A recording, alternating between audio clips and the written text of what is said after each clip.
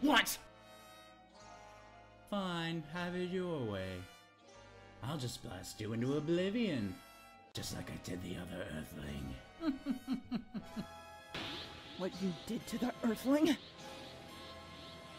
Krillin, you mean?